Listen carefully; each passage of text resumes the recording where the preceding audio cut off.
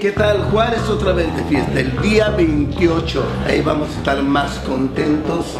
¿Por qué? Porque estamos bien, porque estamos progresando, porque estamos siendo cada vez muchísimo mejor. Otra vez de fiesta, Ciudad Juárez.